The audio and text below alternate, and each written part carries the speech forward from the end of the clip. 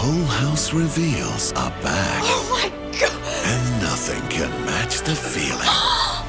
Because it's their own home. We want to make this a place to live, not just be. There's only one house rules, and it's coming to seven.